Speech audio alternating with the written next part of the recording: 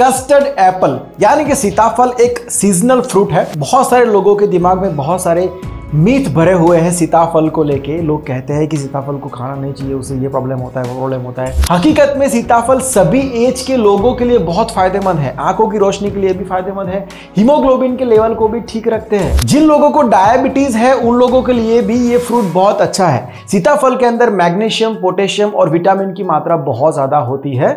जिन लोगों को हार्ट के डिसीज है ना, उन लोगों के लिए भी ये फल अच्छा है। जनरली कहा जाता है कि जो लोग बहुत ही मोटे हैं उन लोगों को सीताफल बिल्कुल ही नहीं खानी चाहिए।